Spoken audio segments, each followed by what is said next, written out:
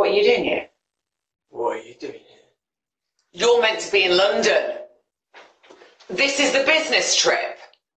Are you for real? Am I, is this is this real? Is this a joke? Is this a joke? Adam! Well, say something for God's sake! What are you doing here? Let me see who you are. Who are you? Adam, what's the shouting?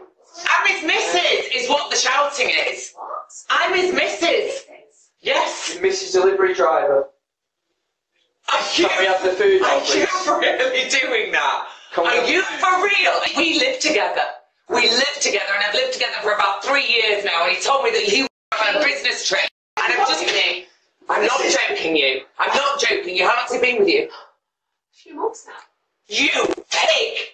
You're not staying here. Good. You're not coming home. Where can I go then? You can go to the gutter where you belong, you filthy pig.